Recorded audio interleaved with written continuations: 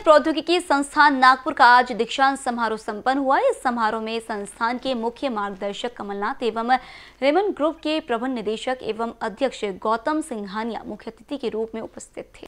IMT का आज दीक्षांत समारोह संपन्न हुआ जिसमें 2018 से 2020, 2019 से 2021 और 2020 से 2022 वर्ष के छात्रों को आज डिग्री देकर आगे के भविष्य के लिए शुभेच्छा दी गई। रेमंड ग्रुप के अध्यक्ष गौतम सिंघानिया एवं संस्था के मुख्य मार्गदर्शक और मध्य प्रदेश के पूर्व मुख्यमंत्री कमलनाथ उपस्थित थे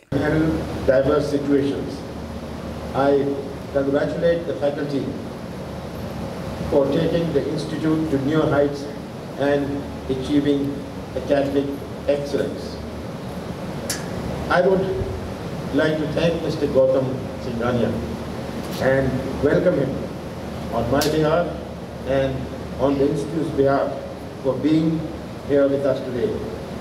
He is a visionary leader and I've seen him over many years steering his uh, companies to new heights. He, he is not only a successful businessman, but a philanthropist. Anybody who has been successful has been successful from his hard work, determination, and the refusal to quit. Challenges will come, but obstacles are those things people see when they lose sight of their challenges or their goals. Let's take COVID. COVID, I think, was the biggest challenge for most of the world.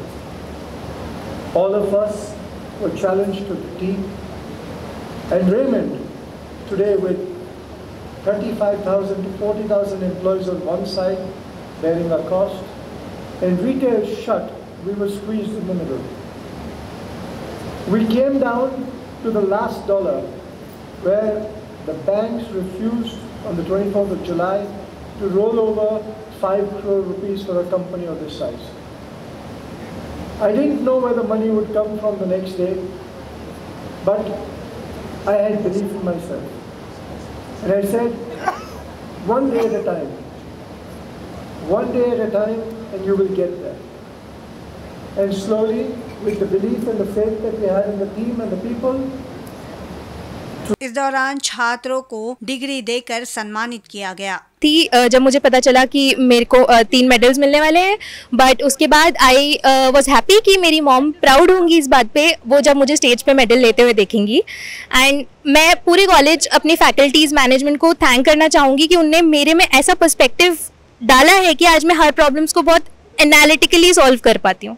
So I really would like to thank IMT Nagpur for that. मेरा future plan, sir, uh, I really want to grow into consulting and in five years I see myself as a senior consultant in a very well-reputed firm. Camera person Rajkumar Mod के साथ Kshitija Deshmukh BCN news Nagpur